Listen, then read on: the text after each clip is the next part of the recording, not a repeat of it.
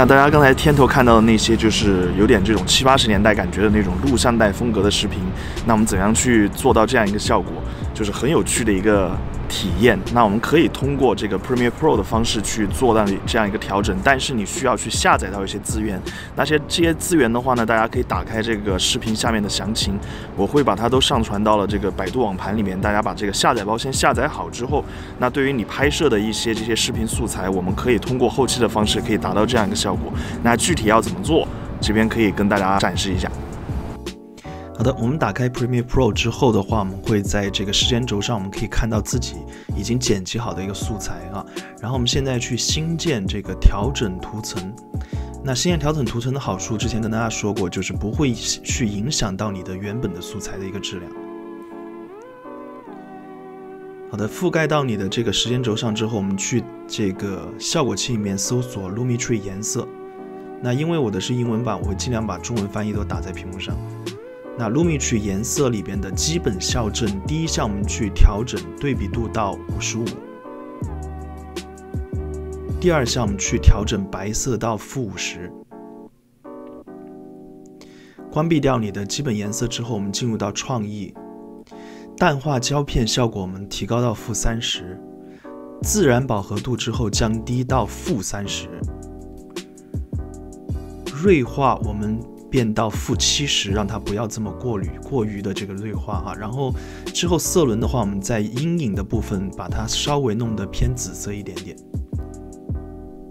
然后关闭掉你的创意，然后我们进入到曲线，白色曲线的话，我们下拉到这个左边这个右上角第一格的这个位置，大家可以跟着我的操作做一下。然后我们去调整绿色的曲线，往左边一点点。然后到蓝色的曲线往下一点点就好，然后会给到大家这样一个稍微偏黄的这种质感啊。然后我们进入到晕影，晕影里边我们数量降低到负一，那会给到一个怀旧的这样一个效果。接下来的话，我们去搜索一个叫做通道模糊的这样一个效果器，然后把它放到你的 editing 里面来。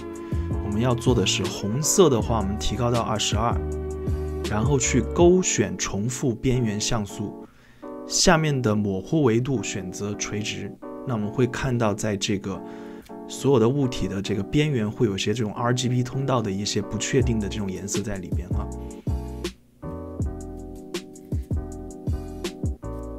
然后我们重新再搓一个这个通道模糊进来，交错这样做啊。然后蓝色的话到四十，同样勾选重复边缘像素。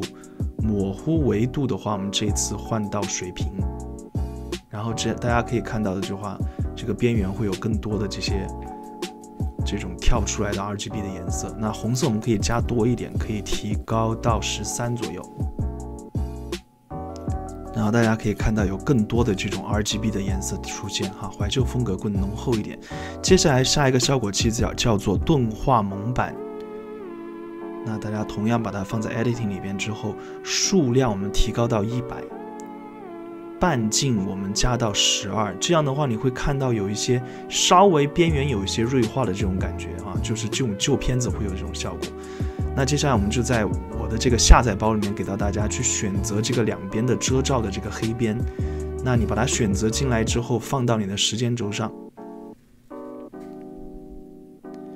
接下来就是你自己要去调整它的一个大小了，那把它放到你的这个整个视频大小的这样一个尺寸啊。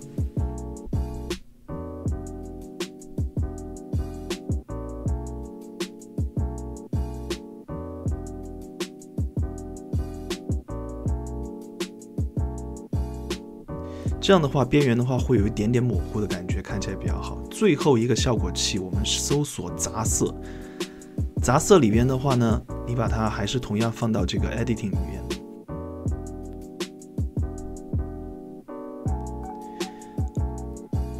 好的，那杂色的数值上，大家去先去做一个调整。比如说，如果你觉得太高，看到太多的这种杂讯出现的话，我们去可以做一个，比如说相对的一个降低。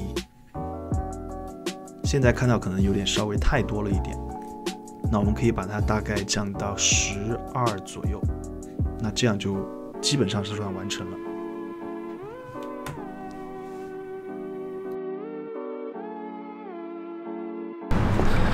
好的，那相信大家这一期节目看完之后，应该知道就是怎么样去做出这样一个调整了。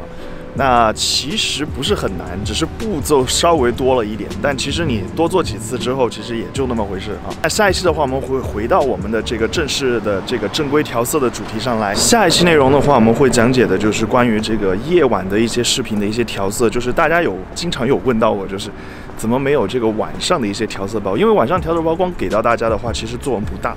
但你是需要有很多步骤，因为如果你的传感器不够大的话，我们会牵扯到比如说降噪方面的内容。那下一期的话会给大家大家做一个说明，就是晚上的这个你的这个视频拍摄出来之后，怎么让它看起来不会有噪点，怎么让它看起来画面更好一些。下一期大家可以关注一下。